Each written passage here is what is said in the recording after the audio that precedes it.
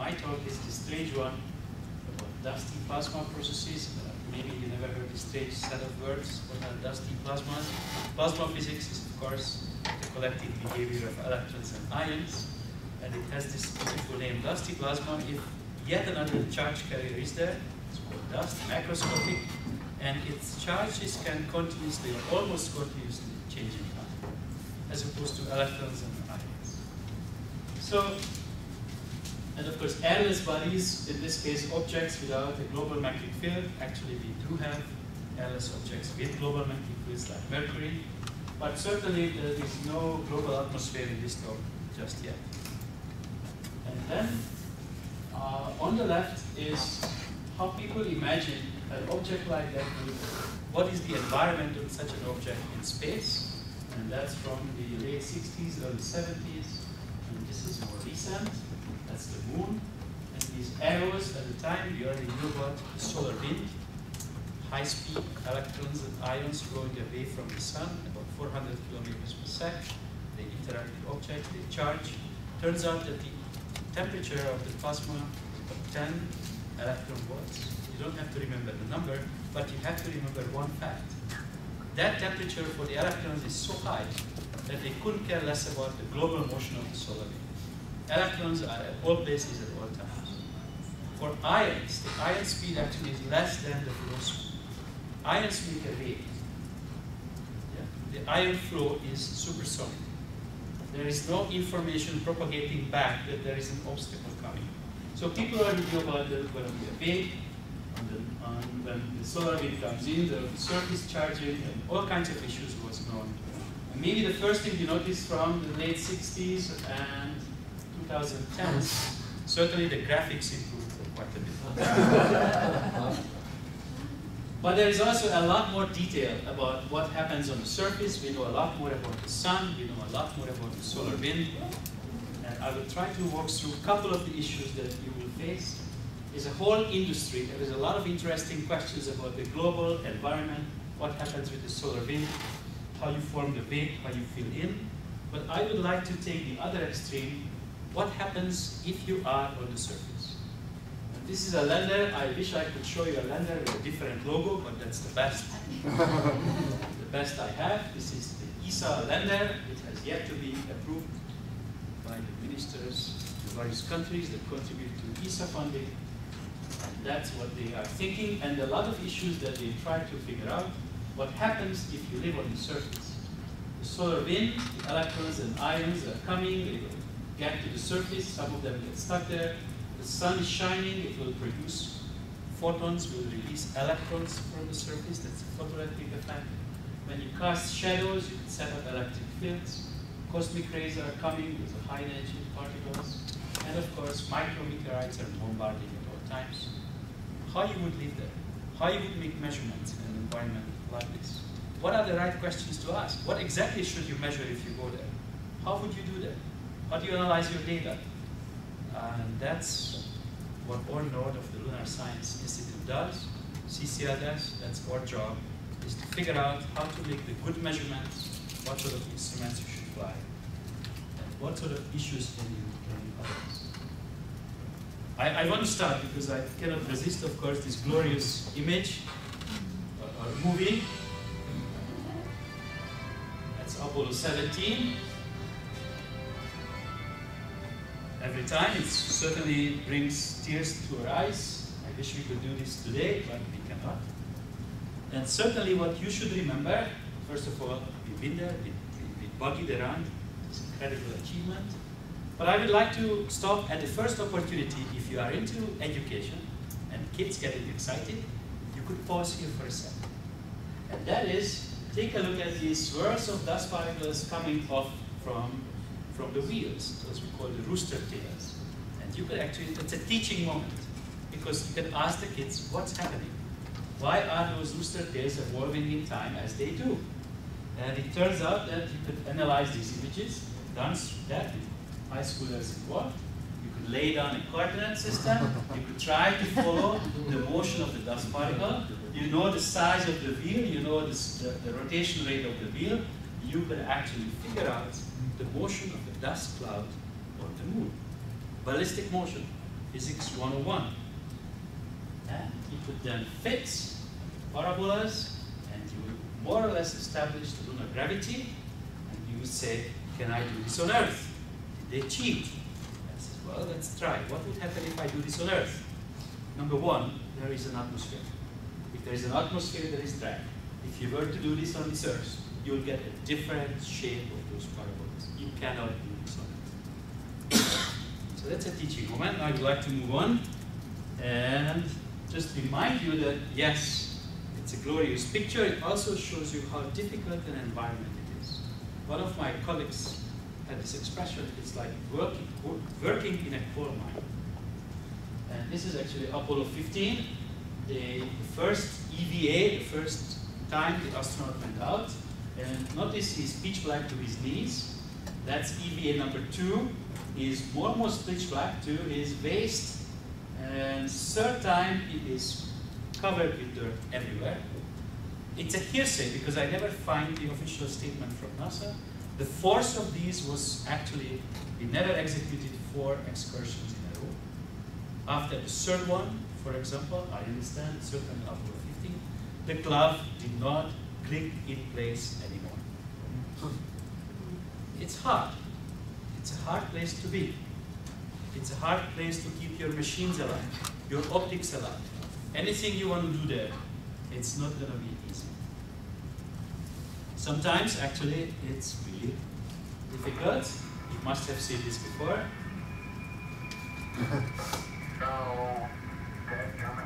Jack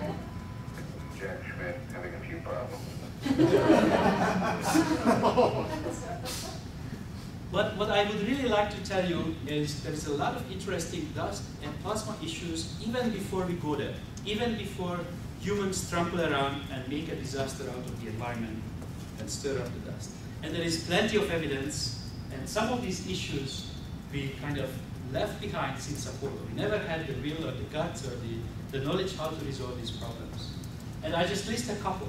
Before the Apollos, we had the Surveyor series, five, six, and seven. They were facing to the west. The sun set, it's behind the horizon. And then we have these hovering bright clouds appearing in the picture. Remind you, there are no winds. There are no winds on the surface of, of the moon. And the best explanation of that is forward scattered light on dust clouds above the surface. How others you do that? What, why would dust come off the surface? What's going on? We had Apollo 17 left behind an experiment, the lunar ejecta and meteorite experiment. It had three little sets of sensors, east, west, and, up facing, and every time there was a sunrise or a sunset, the instrument went from lit to dark or dark to lit. The number of events it registered skyrocketed.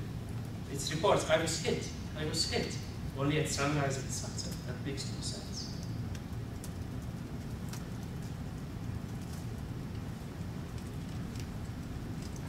So who cares? Why would anyone care about these issues? And of course, I, I argue that all of you, or all of us should. There are certainly lunar science and engineering issues about the surface charging, the size and velocity distribution of moving particles, if they really do, what exactly do they do? Is there an appropriate time or a more suitable time, an optimum time for the astronauts to do whatever they want to do or make measurements that they want to do? It's important I'm not really a planetary scientist, I have to fess up. So it, it's important to, to basic plasma physics. One of the first issues in plasma physics, plasma, when it started, long sticking a wire into a plasma, that's one set of measurements. The other is you have a surface in the plasma, and the plasma has to accommodate and charge the surface so that it will come into some sort of equilibrium of losses and sources in the plasma that's forming a sheath. That was Langmuir, probably 1930s. And we still write paper about this. And now I have a beautiful laboratory. During the day, I build up a sheath. At night, I collapse it. I put a lot of dust in it. It's, it's an amazing laboratory. Let's go make measurements. And of course, all our planetary and astrophysical colleagues should, should care because if this goes on on the moon, uh, why wouldn't it take place on asteroids or any other place where it's exposed to UV and plasma? Oh, you want on an asteroid, you will face the same problems there. So let me start with something that perhaps most of you know about these swirls. These are albedo markings on the surface, and people argue that, you know, it has to do, these, these features come when there are local magnetic anomalies. The moon might have, in the past, a global magnetic field structure that is gone, but it still had, at places, reasonably strong millitesla sort of localized magnetic fields. And when the solar wind electrons and ions are coming, electrons and ions don't really pass by the magnetic field without noticing. They start moving around in various curved orbits. Their access to the surface might be different, there are magnetic fields. So people argue that it is actually space weathering. It's the effect of the solar wind reaching or not reaching of the surface in patches that makes these.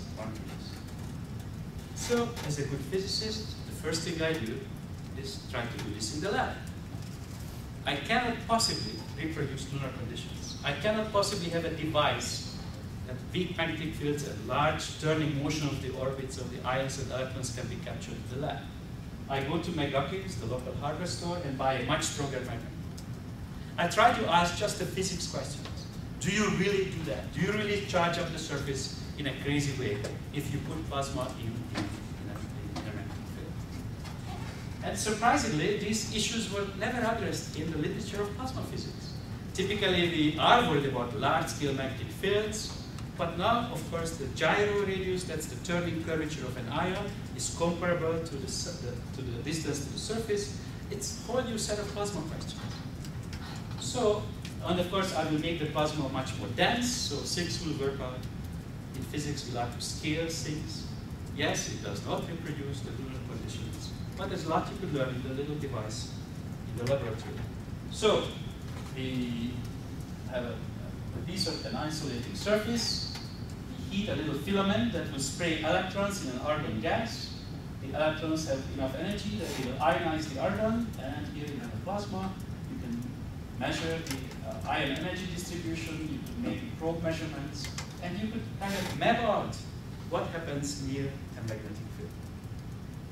And that's the plot. We measure the potential distribution.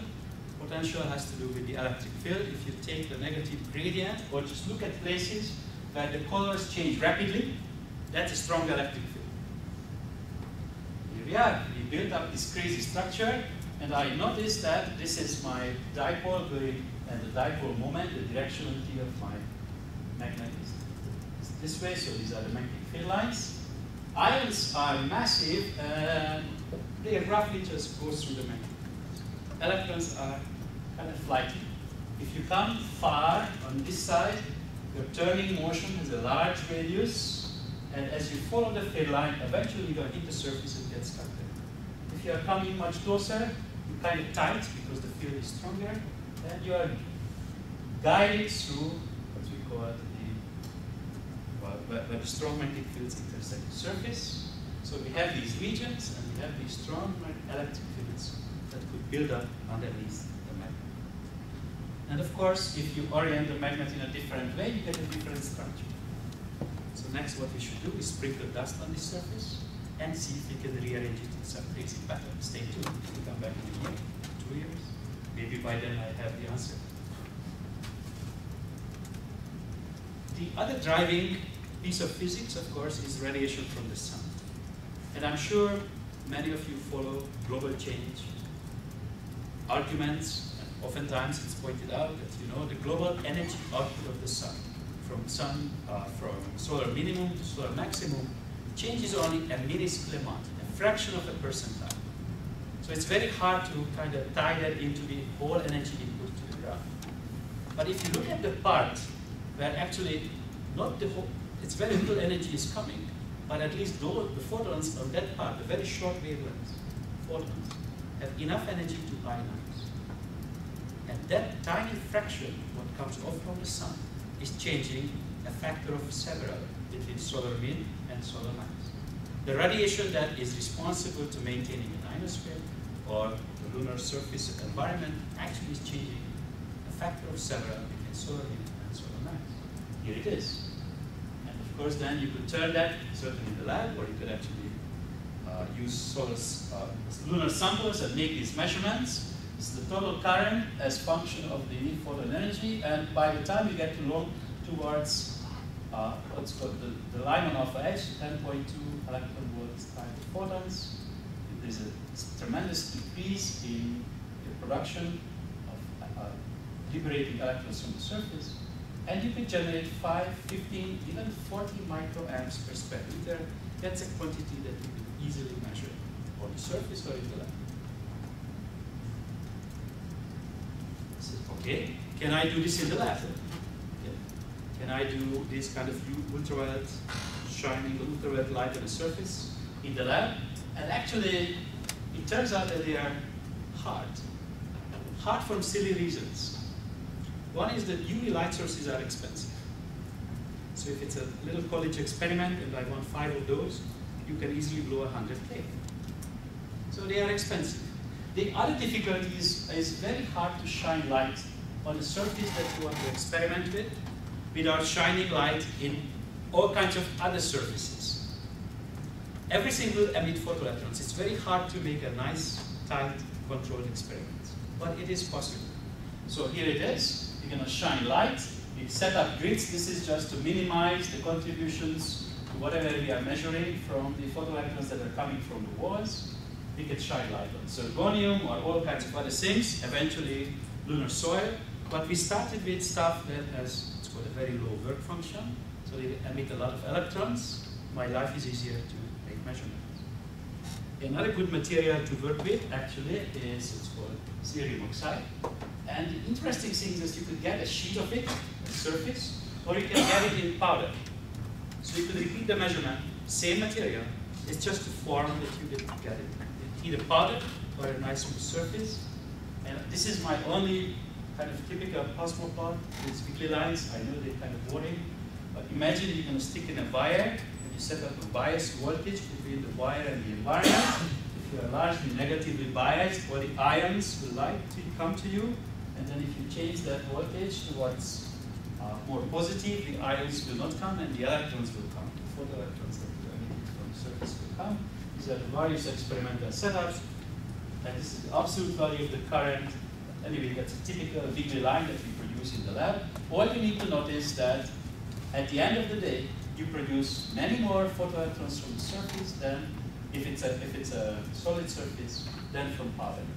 Saturation current, and the values from the solid surface are always much higher than the values from So maybe the, the photoelectric sheaths, the properties on the surface, depending where you are at, whether it's a fine dust environment, or an environment without dust, you have to figure it out. Imagine a different experiment. This time, the stuff that I'm going to shine light on is the surface. Uh, I can certainly measure up the electron density as a function of distance. If you are close to the surface, where the electrons are just leaving, they will fly out and then return eventually because they left behind a positive charge. It's like an atmosphere. The further away you go, the lesser the electron density. Another interesting thing is that I can push it back and forth and have a little dust shaker on top and let the dust particle force through. Very close to the surface or further away from the surface.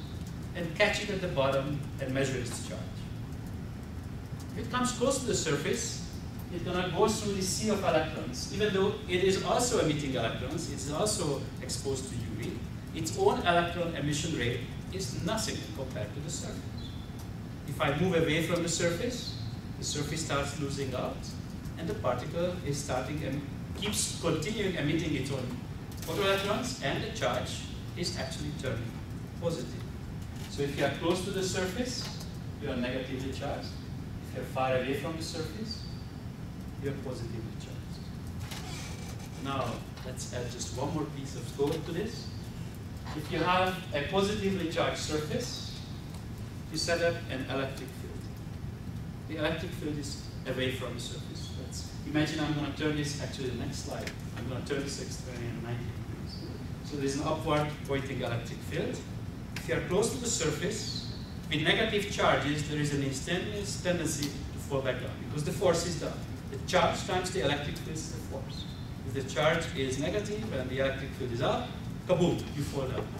If you somehow manage to go far away, far enough away, your charge is positive, the electric field is up, you can beat gravity. You could actually beat gravity. And we have done that in another experiment in the lab. That's a pizza tray in a plasma chamber, and those are little dancing dust particles in the laboratory. Notice that there is no one close to the surface. They are all dancing above a certain height. If they were to come closer, they would immediately fall down. The way we put them up there is a highly qualified hammer. We have a dusty tray. We kick the tray, a whole bunch of dust flows up. Some of them get captured. And will dance in the sheath, beating gravity. And I am not sure this is exactly the physics that goes on, but it certainly reminds me of this observation that above the surface, there's this layer of dust that has a very finite bottom edge. Where is the surface? Okay, uh, there is a version of this image when, we, when people splice together day, day images with night images, mm-hmm. so they can actually identify the rock that this thing is comes over. So this is about, they argue it's about a meter or so above the surface, which is roughly this scaling, the, called the Debye length of the sheath thickness in the plasma, I think it's there. So you've proven there are aliens kicking pizza trays on. Go ahead, Let's ask the question. go ahead, tweet that away. Let's ask the question a little bit more seriously. How are they launched? So, okay, we, we can, I mean, get to the discussion in a second. They are certainly, they are certainly launched in response to all incoming meteorites. That can, has, has to go on at all times at all places. Secondary ejecta. And we have done the following experiment in the lab, set up lit dark regions and move it across surfaces, and the horizontal electric field typically is enough to break cohesion, get you moving a little bit, hopefully bump into a grain next to you, and launch up in the air. Or, not in the air, but away from the surface. So is the situation that because you see this only at, at the Terminator, right, you're seeing this at the Terminator? I have observations only at the terminator. Okay, The geometry is appropriate. I cannot possibly tell you this is happening at all time, at all places. right. But my, I guess my question is, once you, because you're not having meteorites constantly to create, are you kind of carrying these along, along the Terminator as, and, and so over time, dust gets migrated over great distances? Perhaps. It appears that dust is running away from the sunshine and possibly at least to the finest of the lunar fines. There is a global general transport of moving this stuff around and around the surface. And of course, it's global in a sense that yeah, it, they kind of follow the sunrise sunset. Their range could be only a couple hundred meters, maybe just a few meters. Yeah. But in general, there's this kind of a mini sand dune that's propagating from Like the wave. Yes, the wave. Yes. Is the surface negative on the moon and above it is positive? What No, no, no. So it, it turns out that at this preceded our purchase of the UV lights. So every sign is reversed. This was done in a plasma. So in this case, the surface was negative, and the charges are negative away and there's an ion sheath. In reality, what I think will happen on, on the moon, of course, is the day side is positively charged. Everywhere in the solar system, UV wins against electron and ion collection from the solar wind.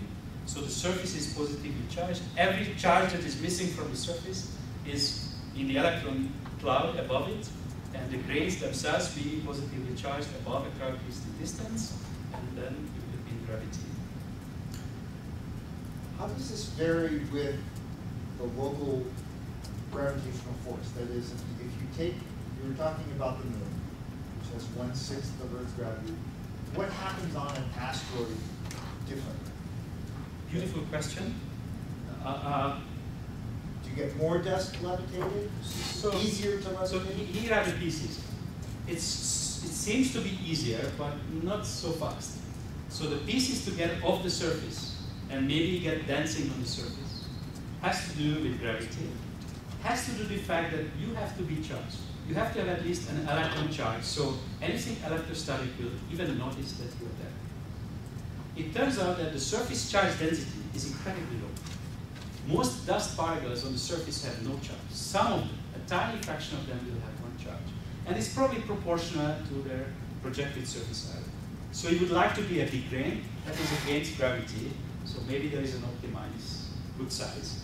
And the next set of issues, that is all right. Imagine it could get you going, but you have to get through the sheath. And if you are a big particle, A, you travel slow, and your charging time to get that electron away from you is very quick. You will never make it across, you fall down. So there's a lot of pieces to this. I, I cannot just tell you that it is certainly much easier than I an asteroid. But certainly if an asteroid, for example, is a fast rotator, I imagine that these things will come much easier. And in a couple of slides, I will show you what I think might be the consequence of this type of transport.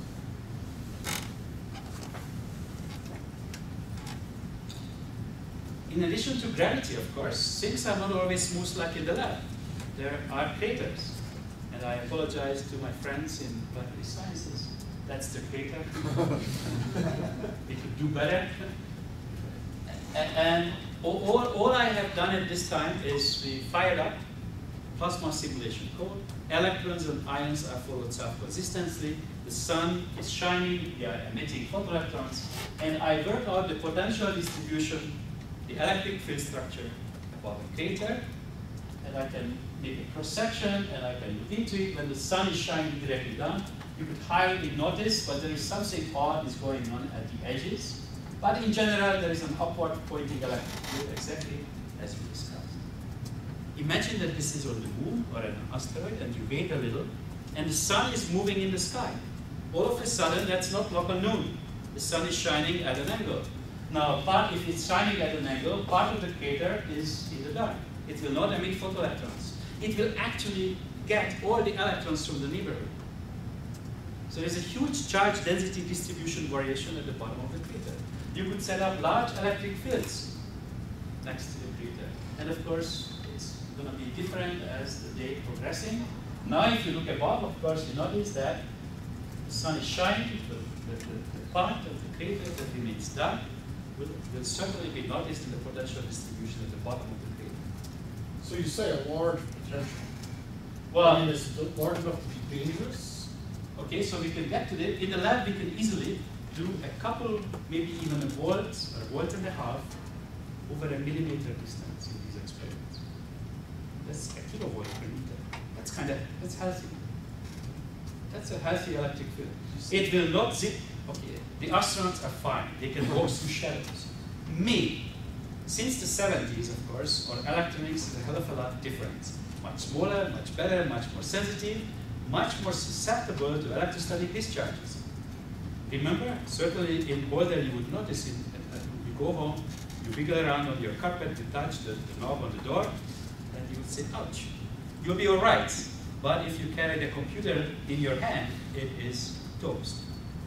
Would, would this be similar to the effect that we heard about the Dust Bowl back Yes. in America when it would be so you, you would just literally touch something during a dust storm and Yes. there'd be an electrostatic Yes, discharge. we could build that experiment if you have a size distribution of the dust and wind-driven separation. First of all, where dust particles collide, they exchange charges.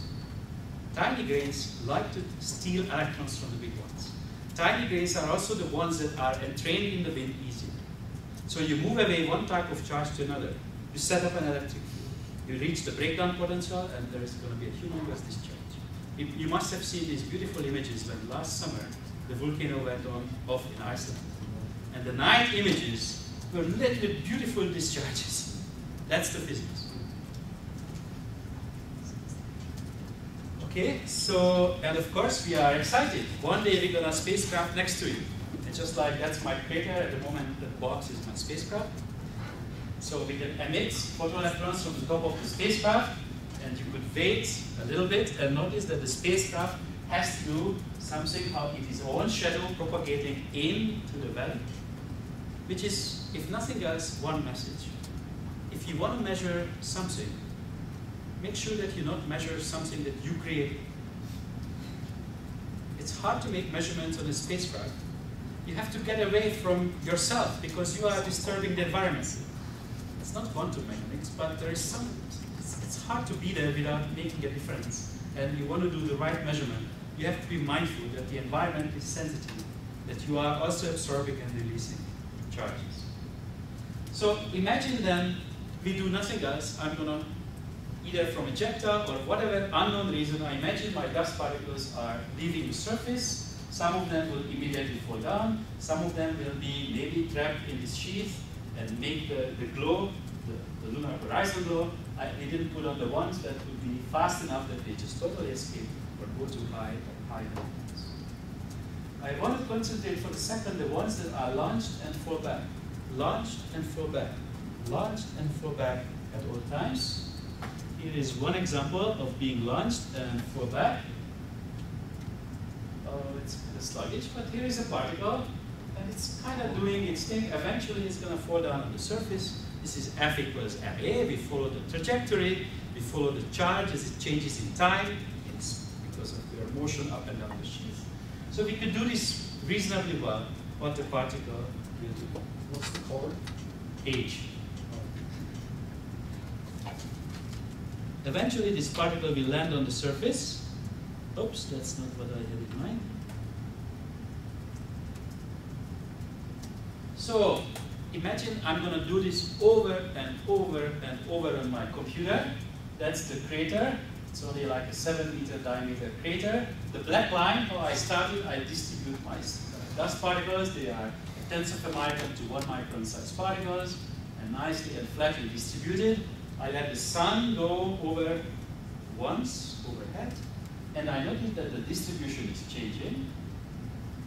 I do it for 15 days, and I notice that the distribution is changing. My tiny little dust particles are falling into the bottom of the crater and they stay there. It's easier to get in than to get out. It's a center. You got lucky. Being uniformly distributed is silly. Try something else. Every physicist, how sensitive your answer is your initial conditions. Did you get lucky or can you do something else? Let's pile up all the dirt on one side. Repeat the experiment. Soon enough, all the little dust particles will find their way to the bottom of the crater. So that's might or might not do with anything with nature. This came, of course, in Science just a couple of weeks ago. Maria Zuber, Shackleton crater on the South Polar region. That's the topography. And all these other fancy plots for friends who do uh, geodesy would, would, would produce. She also noticed that it's when I'm looking for volatiles, region that would reflect a lot of UV light. So it appears that the, the, the of my crater is much brighter than the bottom. She came to the conclusion for magic or big slides or for whatever reason, there is more volatiles on the side of the crater than at the bottom. I think it's just fine dust is being accumulating at the bottom of the crater. And actually we have seen these sort of things like on Eros, this is the one, remember the NEAR satellite kind of landed in 2001. And then we see these regions that appear to be very smooth. And I will come back to that in the next slide. Why do you say kind of? Landed. Well, it's cra- I didn't want to say crash landed. It landed. It Landed and operated. It landed at okay. uh, operated all yes to the to the bitter end. And I have a beautiful slide from the bitter end. So it is landed. You're right. It, it has landed. And actually here we have the the LAMP PI. LAMP is looking at at the moon in ultraviolet. And actually that's the ultraviolet that is not from the sun. It's from throughout the solar system, Lyman alpha radiation coming. So you could look into permanently shadowed craters.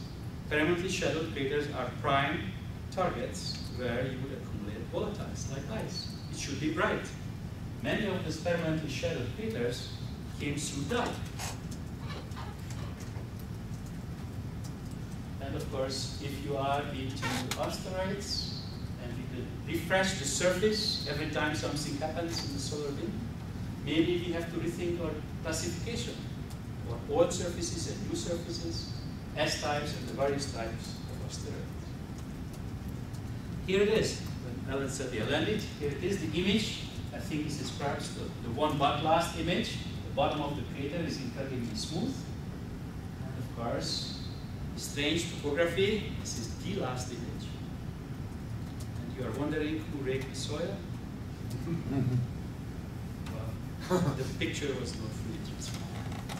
The spacecraft actually reached the surface. We had no time. So the day comes off, the data comes back, it rasterized. So the cross parts, the, the bottom of the picture, never made. But it is smooth. It's an incredibly smooth, fine, fine surface. So many of these issues actually might be addressed in an upcoming mission. It's called LADEE, Lunar Atmosphere and Dust Environment Explorer. Alan put in, in, in the pipeline. It was at NASA.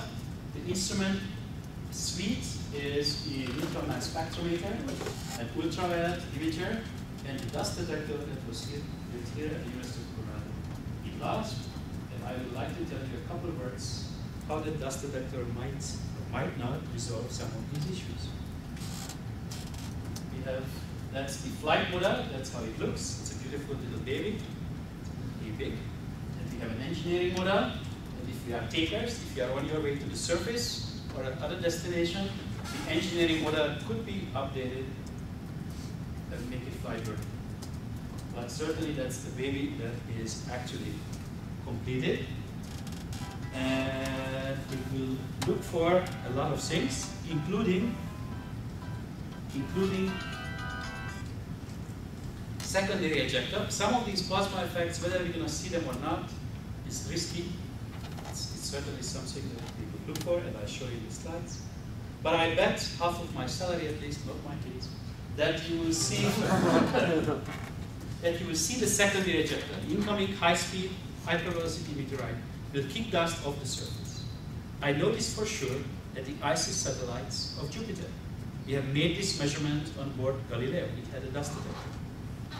It worked remarkably well. We have beautiful models. As it stands, I know much more about ejecta production at Jupiter than at Moon. We actually have never done that measurement around the Moon. I do know how it works at Europa, Ganymede, Callisto. I don't know how it works. But we do have models, and we try to adopt those models for the lunar conditions. So LADEE will be in orbit. Imagine that a mi- micrometeorite would hit, lots of those coming. 50 ton per stuff is coming to the Earth every day. It will create a secondary particle and we will intercept it and will measure these single impacts of particles that are coming off the surface if they are beginning. These plasma issues, the rolling cloud, if they are at sunrise and sunset, they must be tiny, like 10 nanometer, maybe 30. I cannot detect one impact at a time because I will show you in a slide how my instrument works. But there's a lot of them I can detect their collective contribution to the signal I'm measuring.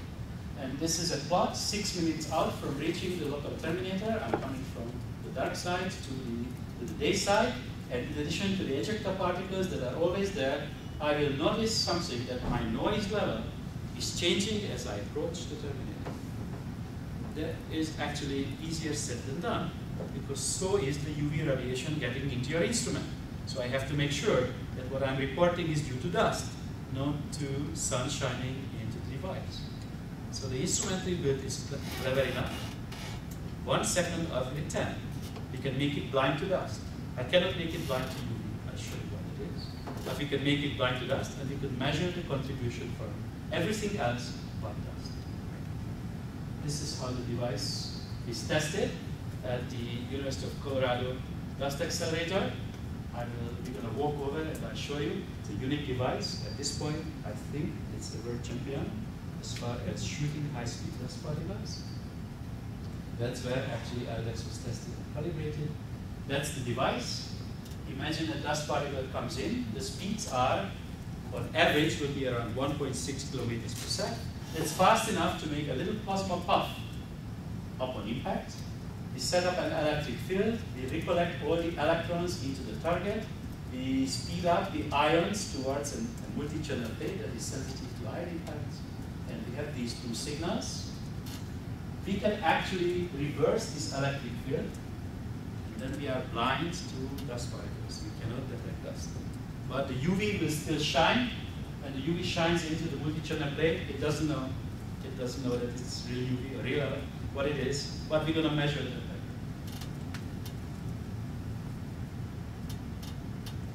Here is the signal. That's, of course, at the dust accelerator, we have huge charges. You see the image charge as it approaches the target, the, the dust particle. There's a lot of charge, much bigger than in nature. And that's the signal that the electrons produce on the target. That's the signal the ions produce when they fly towards the channel plate. So we can look for coincidences, and we know how to turn the magnitude of the signal into the mass and speed of the dust particle. This is what we call a calibration or test. It's a function of speed at the accelerator and the radius of the particles. These are the, the things that we detected. And the first time we drew this picture, we almost got a heart attack. It turned out that all the black lines and the red lines were coming down the pipes of the accelerator, but we missed a bunch of them. The red lights were not, the red dots were not seen by others.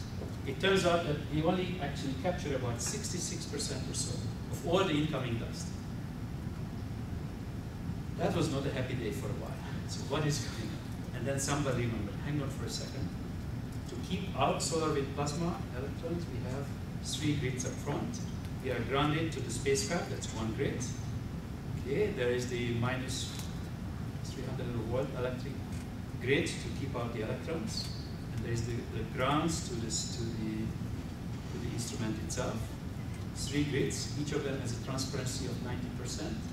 And as I mentioned, we have a duty cycle of 90%. 0.9 to the power 4. That's why. That's why we are only detecting 65% of the incoming, and that is good, that is fine. We just have to remember to make the corrections once in space. And that leads me to possible other devices that you might like to fly one day around. In addition to mass, the size distribution, the spatial distribution, you could ask other questions. You could ask, for example, what are you made out of? What is your composition?